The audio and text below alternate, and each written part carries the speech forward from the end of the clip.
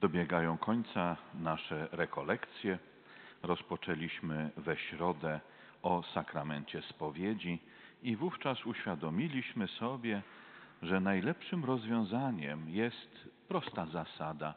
Najlepszym momentem na spowiedź jest chwila, w której przestajesz przystępować do Komunii Świętej, bo Pan Jezus w Komunii Świętej jest ważniejszy, czy to od naszych przyzwyczajeń, czy nawet od naszych wad czy grzechów. Kolejnego dnia rozważaliśmy, jak to jest, że Msza Święta jest sakramentalnym znakiem krwawej ofiary Chrystusa Pana i Pan Jezus w czasie Mszy Świętej jest w stanie śmierci i jak długo, że z tej przepaści śmierci, rozdzielenia ciała i krwi, my wołamy do Boga słowami Pana Jezusa, Ojcze nasz, opierając się na zasługach męki i śmierci Zbawiciela, by tak zwracać się do Boga. Kolejny dzień naszych rekolekcji dotyczył modlitwy, która jest więzią duszy z Bogiem, więc pielęgnować modlitwę to pielęgnować więź duszy z Bogiem, zaniedbywać modlitwę to zaniedbywać więź duszy z Bogiem. Sobota, dzień tradycyjnie poświęcony Matce Najświętszej, a wówczas chcieliśmy sobie też uświadomić jej rolę jako tej, która martwi się o to, czy apostołowie mają wiarę w Pana Jezusa, czy ci, którzy słuchają Pana Jezusa, przyjmują ochotnym sercem, czy dobrze rozumieją, czy sprawy Pana Jezusa dobrze idą w sercach ludzi. Matka Najświętsza wytrwała aż po krzyż, o czym jeszcze dzisiaj wspomnimy, bowiem dzisiaj zaplanowany i zapowiedziany temat to oczyszczenie Kościoła. Temat niezwykle trudny, delikatny, ale niecierpiący zwłoki. Temat, co do którego chyba wszyscy są zgodni, czy to niewierzący, czy wierzący. Tutaj zadziwiająca zgodność jednych i drugich jest, że Kościół wymaga oczyszczenia. Kłopot rozpoczyna się natychmiast, gdy zaczynamy zastanawiać się, a o jaką rzeczywistość chodzi pod tym słowem Kościół. Bo to słowo jest używane w tak różnych kontekstach, że dopiero trudnym wysiłkiem intelektualnym dociec, co mówca ma na myśli. Bo jeden, mówiąc Kościół, ma na myśli biskupów, inny, mówiąc Kościół, ma na myśli świeckich, inny, mówiąc Kościół, ma na myśli księży, inny, mówiąc Kościół, ma na myśli działalność charytatywną, inny, mówiąc Kościół, ma na myśli działalność edukacyjną, szkoły katolickie, inny, mówiąc Kościół, ma na myśli media. I tak naprawdę, używając tego samego słowa, rozmówcy nie wiadomo, czy oni rozmawiają na ten sam temat. No, istna wieża Babel gdy opisałem czy wymieniłem te różne elementy, pewnie to nie jest wyczerpująca lista tego wszystkiego, co kojarzy nam się z Kościołem, ale przecież nawet gdybyśmy to wszystko sumowali, to naprawdę nie, nie, nie będzie to jeszcze Kościół. Kościół, który został założony przez Pana Jezusa. Możemy wszystkie poglądy na temat Kościoła podzielić na dwie grupy jedna grupa poglądów, jakby to powiedzieć, no tak po ludzku, czyli innymi słowy mówiąc, ścieżką socjologiczną, a drugi zbiór poglądów na temat Kościoła to według tego, kto założył Kościół i czyją jest własnością. No to najlepiej się właściciela zapytać, co on myśli o swojej własności. Otóż Pan Jezus założył Kościół, i powiedział, czym jest, jaką rzeczywistością. I tutaj mamy natychmiast pierwsze rozbieżności między tym wątkiem socjologicznym, a tym wątkiem Chrystusowym. Ta rozbieżność będzie w przekonaniu, czy Kościół jest święty, czy Kościół jest grzeszny. Bowiem Kościół jest dany z wysoka. Założycielem jest Pan Jezus. I prawda o Kościele jest prawdą przez Boga objawioną i nam do wierzenia podaną. A tę prawdę my wyrażamy w niedzielnym credo, mówiąc wierzę w jeden święty, powszechny, czyli katolicki i apostolski Kościół. Te cztery przymioty. Jeden święty, katolicki i apostolski. Mówię, że z wysoka dany, bowiem gdy czytamy Apokalipsę, to ten duchowy przewodnik świętego Jana, apostoła, mówi do świętego apostoła: chodź, chodź, pokażę ci. Chodź, pokażę ci małżonkę, oblubienicę baranka. Chodź, pokażę ci. I w następnych słowach święty Jan opisuje: I widziałem miasto święte, od Boga dane, niebieskie Jeruzalem, gdzie świątyni nie widziałem i nie znalazłem, bo świątynią jest baranek. I nie potrzeba tam światła słońca, bo jest oświecane przez Boga. Bóg jest tam światłością. Tak, pochodzi z nieba. Ta, ta iskra boskości tak łatwo może być pominięta na tej ścieżce socjologicznej. I wówczas bardzo łatwo zapomnieć o tym, że Kościół jest święty, że świętość Kościoła jest niezachwianą, jest doskonałą, że nie doznaje żadnego uszczerbku, że ta świętość pochodzi od Boga. Świętość Kościoła, mistycznego ciała Jezusa Chrystusa, to nie jest suma dobroczynności ludzi. To nie jest suma doskonałości moralnej ludzi. To nie jest wynik świętego życia ludzi. To jest owoc tego, co przeczytam, a święty Paweł w liście do Efezjan zapisał. Chrystus umiłował Kościół i wydał za niego samego siebie, aby go uświęcić, oczyściwszy obmyciem wodą, któremu towarzyszy słowo, aby osobiście stawić przed sobą Kościół jako chwalebny, nie mający skazy, czy zmarszczki, czy czegoś podobnego, lecz aby był święty i nieskalany. Chrystus umiłował Kościół i wydał za niego samego siebie. Ta ofiara Chrystusa Pana jest ofiarą doskonałą i skuteczną.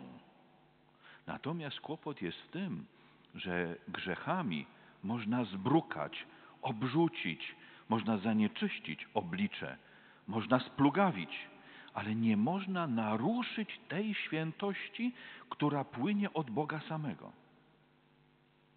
I tutaj jest to doświadczenie grzechu, który gdzieś się plącze, ale nie można powiedzieć, że Kościół jest grzeszny, bo jeżeli Kościół jest mistycznym ciałem Chrystusa, a Chrystus głową Kościoła, to gdy ciału przypisujemy grzech, przypisujemy grzech również głowie, czyli Pan Jezus zgrzeszył. Ci, którzy są wezwani. Pan Jezus mówi, ja nie przyszedłem do tych, którzy są sprawiedliwi, którzy się dobrze mają. Ja przyszedłem do chorych. Ja przyszedłem do grzeszników, żeby grzeszników wezwać.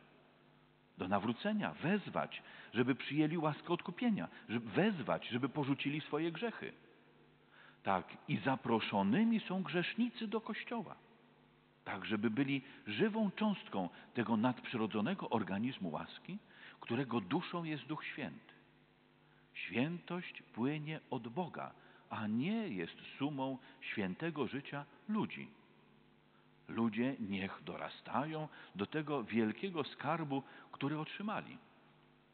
Ksiądz Dariusz Oko w jednej ze swoich ostatnich książek, chyba bardzo ważnej, ale on mówi, a ja też uważam, że to też mój pogląd. On mówi tak, że nic wspanialszego w tym świecie mu się nie trafiło jak Kościół katolicki.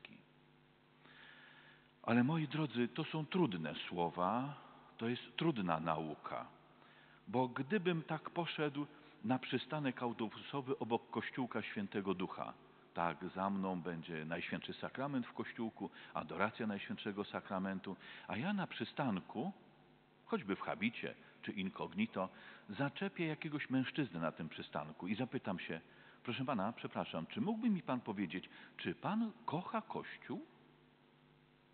Jakiej możemy spodziewać się odpowiedzi? Zadam mu pytanie, przepraszam, czy mógłby mi Pan odpowiedzieć na pytanie, czy Pan jest gotów cierpieć dla Kościoła? Przypuszczamy, że odpowiedź będzie podobna. Dlaczego? Ano dlatego, że zapomnieliśmy o tym, jak bardzo złożoną rzeczywistością jest Kościół. Że to nie jest suma ludzi, że to nie jest suma ich działalności, że to jest miasto święte Jeruzalem, niebieskie Jeruzalem, gdzie świątynią jest baranek, gdzie świętość jest niezachwiana, niestety zbrukana. Żebyśmy zauważyli rozdźwięk i rozchodzenie się ścieżek tej ścieżki socjologicznej od tej ścieżki wiary, to przyjrzyjmy się, z czego należałoby Kościół oczyszczać. Co byłoby to jego wadą? Co byłoby tą skazą, z której należałoby Kościół uratować? I kto ma kompetencje? Kto ma się tym zająć? Kto powinien to robić? Kto ma odpowiednie narzędzia do, tego, do przeprowadzenia tej operacji? Otóż, moi drodzy, z czego Kościół należałoby oczyszczać? Jest taki zbiór, który możemy wyczytać w naszych książeczkach do nabożeństwa. Zbiór grzechów wołających o pomstę do nieba. To są cztery grzechy. Wymienię je. Pierwszy to jest umyślne zabójstwo. Grzech wołający o pomstę do nieba. Drugi grzech to jest grzech sodomski wołający o pomstę do nieba. Następny to jest ucisk wdów i sierot. I czwarty to jest zatrzymywanie zapłaty robotnikom, pracownikom. Zajmijmy się tymi dwoma. Na przykładzie tych dwóch pierwszych grzechów zobaczymy, jak daleko rozchodzą się te ścieżki. Ta tak zwanego ludzkiego, zdrowego rozsądku, oglądu świata, ta socjologiczna, od tej prawdy przez Boga do wierzenia nam podano o Kościele, że jest jeden święty, katolicki, apostolski.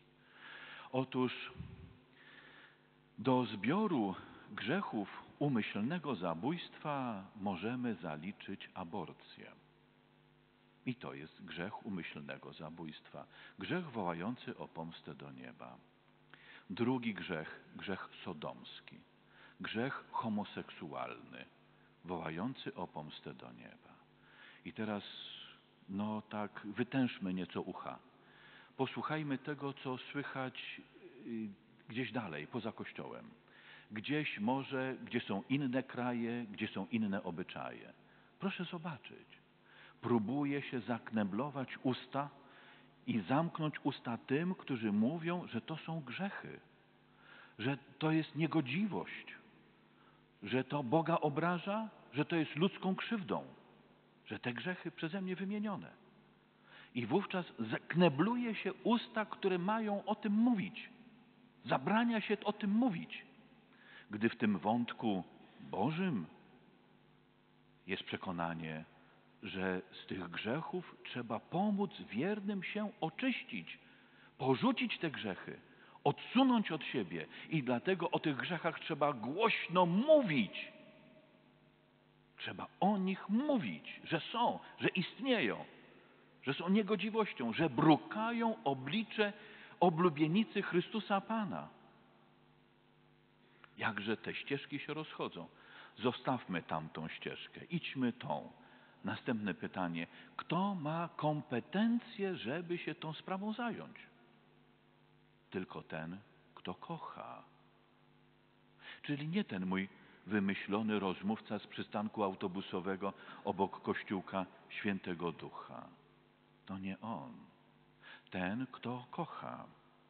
Chrystus umiłował Kościół i wydał za niego samego siebie aby go uświęcić, oczyściwszy obmyciem wodą, któremu towarzyszy słowo, aby osobiście stawić przed sobą Kościół jako chwalebny, nie mający skazy czy zmarszczki, czy czegoś podobnego, lecz aby był święty i nieskalany. Jedynym, który ma kompetencje, jedynym, który ma odpowiednie narzędzia, jedynym, któremu wolno się sprawą oczyszczenia Kościoła zająć, jest Jezus Chrystus, założyciel, właściciel, ten, który jest oblubieńcem. Nie szczędził siebie. Gdy w, pierwszy, w drugim opisie stworzenia świata Jest wzmianka o tym, że Pan Bóg ulepił Adama z gliny, z mułu ziemi. Tchnął w jego nozdrza tchnienie życia. Gdy Adam zasnął, z jego boku wyjął żebro i z tego żebra zbudował Ewę. Gdy ten się obudził, rozpoznaje pełen zachwytu. Oto jest ta, która jest kością z mojej kości. Jest mi tak bliską, jak moja kość, jak to od serca, gdzieś tak blisko.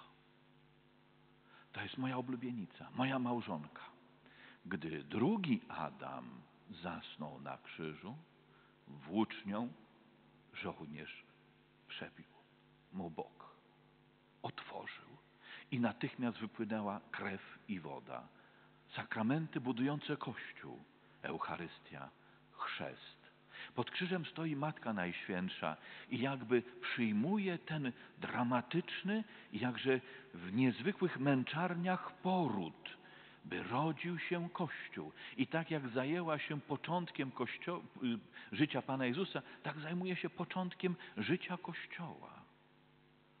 Oto, gdy budzi się drugi Adam, rozpoznaje w eklezji swoją oblubienicę, małżonkę, swoją, swoją małżonkę, swoją oblubienicę.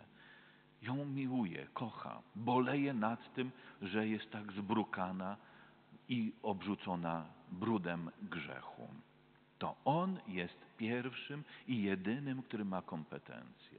Ale on życzy sobie dobrać do pomocy, dopuścić do tej współpracy. On chce mieć takich, którzy będą podzielali jego miłość, którzy będą przekonani, że chcą kochać jak on kocha i tych, których on kocha. Pierwszą współpracownicą jest Najświętsza Maryja Panna oblubienica Ducha Świętego, trwa przy apostołach, błaga o Ducha Świętego. Ta nowenna tych dziesięciu dni oczekiwań na dzień pięćdziesiątnicy i o dziewiątej rano, gdy święty Piotr z apostołami wychodzą i pierwsze kazanie świętego Piotra. Tak, ona martwi się i troszczy się, czy sprawy Pana Jezusa dobrze idą. Ta, która jest matką Kościoła, towarzyszy Panu Jezusowi w tej trosce. Kolejna grupa, którą Pan Jezus dobiera sobie do pomocy w tym dziele oczyszczania Kościoła, to grupa jest bardzo nieliczna. W każdym czasie, w każdej epoce przypuszczam, że nie będzie więcej niż palców u jednej ręki, góra dwóch, a takie miliony wierzących. Otóż na czym polega ta współpraca z Panem Jezusem? Do czego Pan Jezus dopuszcza tych w, w kolejnej grupie współpracowników w oczyszczaniu Kościoła? Będzie należał do tej grupy święty Paweł, apostoł. On w liście do Kolosan zapisał te słowa – Teraz raduję się w cierpieniach za Was i ze swej strony w moim ciele dopełniam braki udręk Chrystusa dla dobra Jego ciała, którym jest Kościół. Gotów jest cierpieć dla Kościoła. Gotów jest dzielić udręki swojego Pana i Zbawiciela Jezusa Chrystusa. On gotów jest być przyjacielem oblubieńca, i dzielić miłość oblubieńca do oblubienicy. Być przekonanym, że to jest tak ważne i ta przyjaźń z Chrystusem Panem zobowiązuje go do tego, żeby nie szczędzić siebie, ale żeby z radością, bo z miłości płynącej ofiarą, no, obdarzyć, dać, poświęcić się. Do tej grupy moglibyśmy zaliczyć niektórych świętych, którzy by wykazali się taką specyfiką, taką szczególnym, takim szczególnym rysem miłości do Kościoła. Ale chciałbym wspomnieć o błogosławionej Annie Katarzynie Emerich. Niektórzy może znają wizję, którą podyktowała. Pewnie mniej osób zna jej biografię, jej życiorys, bo wizje nie zawierają jej biografii. Gdzie indziej trzeba by poszukać, ale warto. Otóż ta mistyczka żyjąca na przełomie XVIII i XIX wieku, ta, która by miała stygmaty, cierpiała, upokorzona na różne sposoby. Pan Jezus powiedział jej, na czym polega jej powołanie, czego On od niej chce. Pan Jezus powiedział do niej tak: Chcę, żebyś była w moich rękach, jak gąbka, w którą będę zbierał brudy grzechowe szpecące oblicze mojej oblubienicy Kościoła katolickiego. Chcę, żebyś była w moich rękach gąbką, w którą będę zbierał brudy grzechowe szpecące oblicze mojej oblubienicy Kościoła. I Pan Jezus pokazał jej jeszcze trzy inne osoby, które w tym czasie miały to samo powołanie.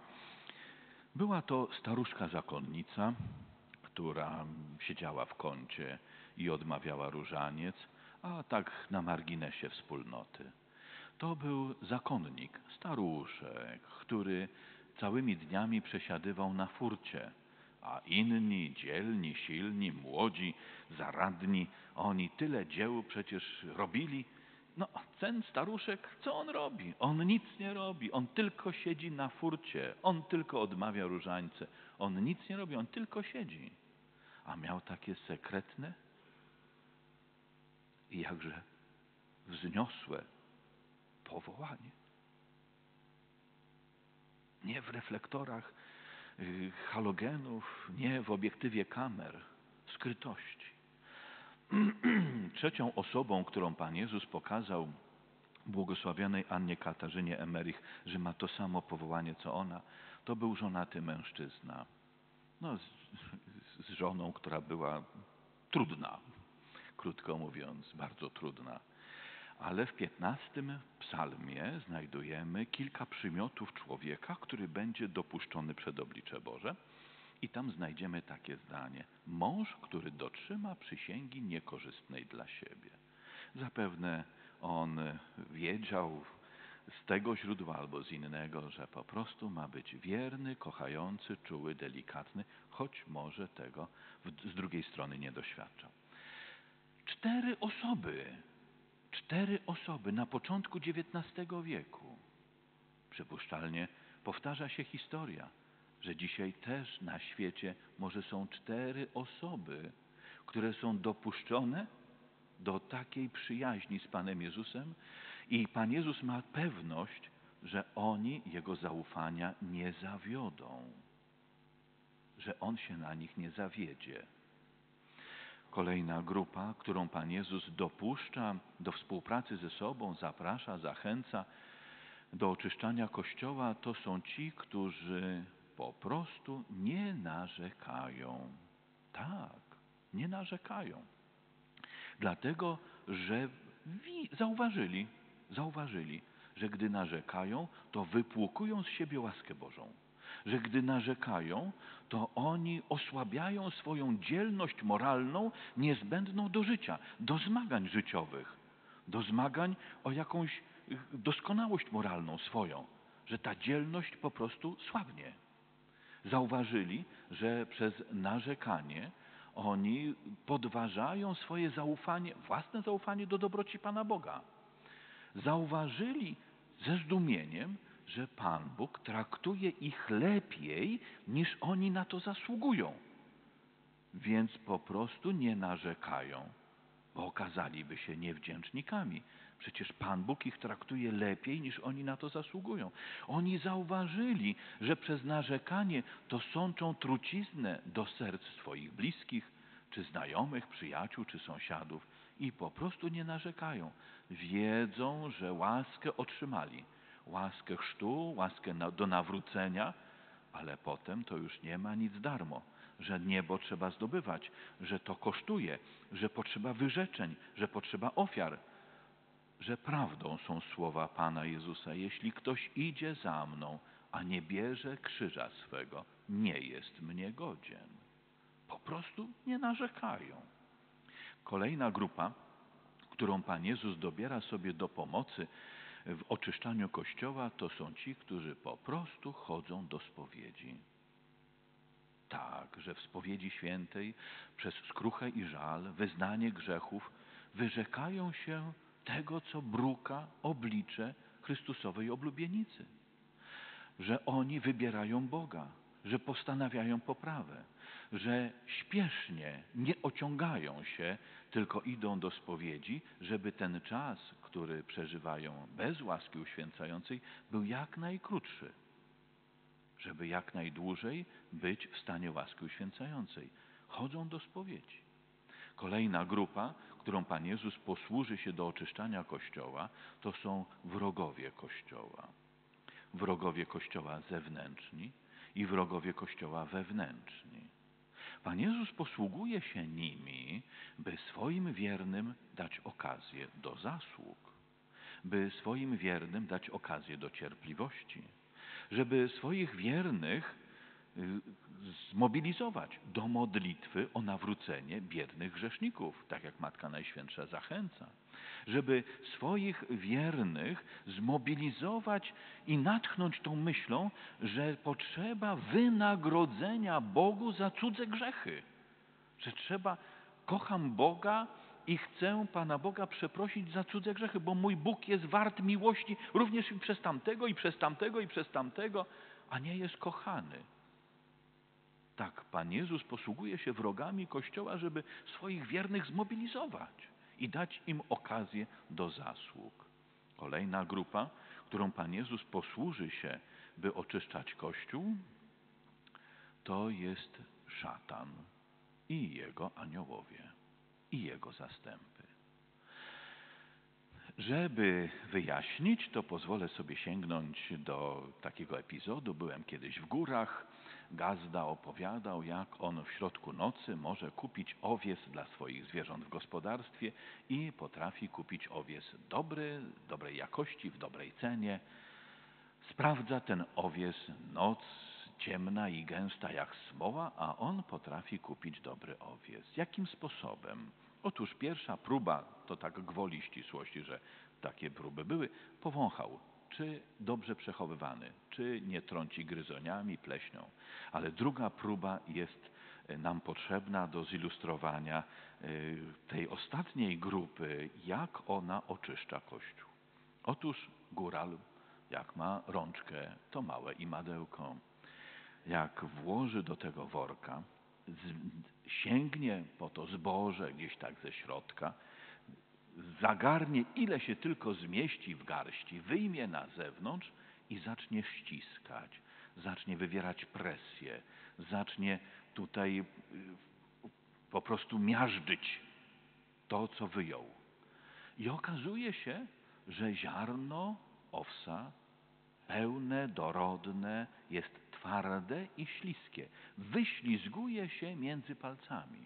Zostanie mu w garści ziarno puste, które ulegnie zgnieceniu, plewy, czy też pokruszone, niepełnowartościowe. I on od razu rozpoznaje proporcje między dobrem, dobrym ziarnem w worku, a tym, co jest śmieciem. Otóż nieprzyjaciel naszego zbawienia mąci, kręci, miesza, tak, po prostu próbuje tutaj swoje interesy ugrać. Tak, i swoje łapsko wkłada do środka i zagarnia, ile się tylko da. No i ściska, i łamie, i kruszy, i miażdży, i wywiera presję. Ten, który jest pełnym ziarnem, wyśliźnie mu się. Ten, który jest ziarnem pustym, ulegnie zgnieceniu. Ten, który jest plewą, zostanie mu w garści. Człowiek, który jest pełny miłości do Boga. Człowiek, który trwa w łasce uświęcającej. Człowiek, który stara się Panu Bogu podobać, spełnić Jego wolę. Człowiek, który pamięta, że w Ojcze Nasz są słowa bądź wola Twoja.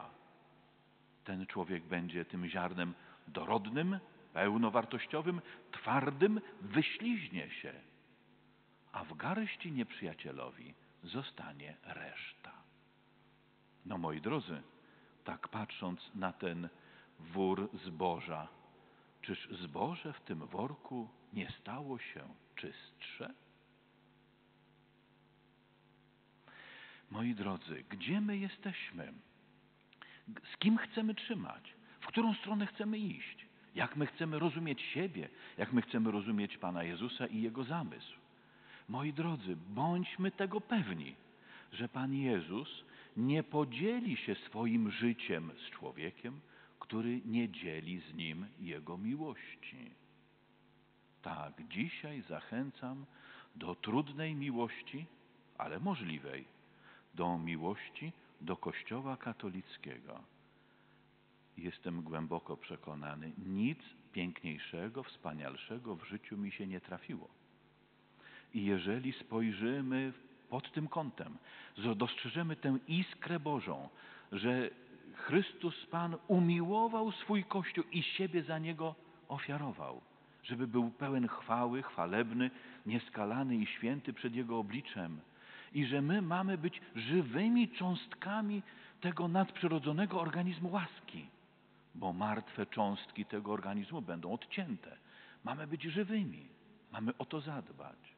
A wówczas, no gdzieś tam będziemy tymi współpracownikami Pana Jezusa, no bez kamer telewizyjnych, bez tych fleszów, bez reflektorów, w cichości, ale jakże poważną, poważną i głęboką robotę możemy podjąć, jeżeli tylko spojrzymy na tę sprawę właśnie pod tym kątem tej iskry Bożej, tego boskiego pochodzenia, tego nadprzyrodzonego organizmu łaski, który no, też jakoś jest postrzegalny w doczesności. Obyśmy za przyczyną Matki Najświętszej, która jest Matką Kościoła, która jest wspomożycielką wiernych, ucieczką grzeszników, pocieszycielką strapionych, żeby ona nam wypraszała potrzebne łaski do tego, by, byśmy, byśmy naśladowali Pana Jezusa, byśmy byli Jemu bliskimi. Amen.